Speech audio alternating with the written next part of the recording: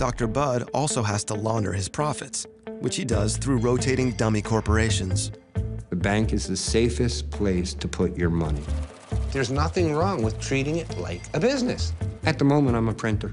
Last LLC, I was a band manager. And next LLC, I'll be a caterer.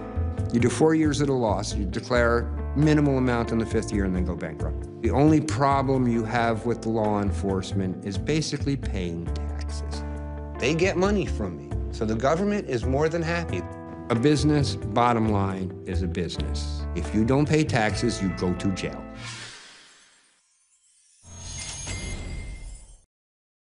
Hey, CNBC fans, thanks for checking out our YouTube channel. Here you'll find videos from all your favorite CNBC shows. Be sure to subscribe by clicking right here.